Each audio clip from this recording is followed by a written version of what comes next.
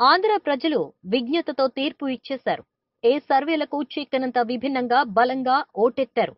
జగన్ ప్రభంజనం చెండ ప్రచండంగా కనిపించిందని జాతీయ మీడియా సంస్థలతో పాటు ప్రాంతీయ మీడియా సంస్థలు అభిప్రాయానికి వచ్చేశాయి.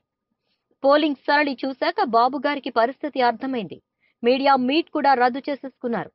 జగన్ సునామీలో మహామహులే కొట్టుకుపోతున్న సంకేతాలు కనబడుతూ ఉండగా ప్రత్యర్థులకు బలంగా చెప్పుకున్న జిల్లాల్లో జగన్ వీరవిహారం చేశాడు.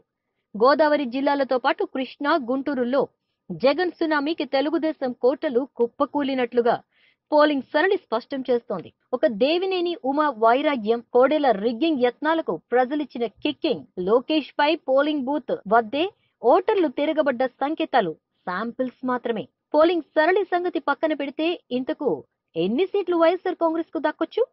జగన్ సునామీలో మిగిలేదెవరు?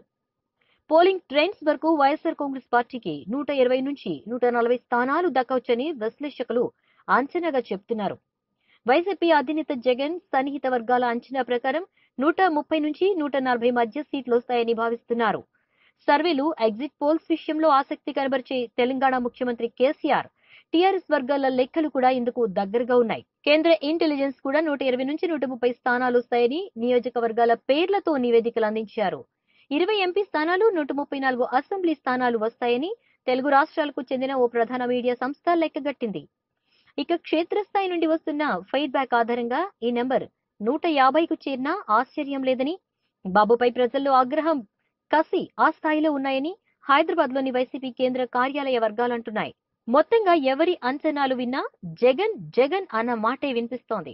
మే ఇరవై మూడున ఈవీఎంలు తెరిస్తే జగన్ సునామీ స్థాయి పక్కగా తెలుస్తుంది. అప్పటి వరకు ఎవరి లెక్కలు వారివి? Journalist RCR view point. ప్రతిరోజు మీ వెలుగు టీవీలో.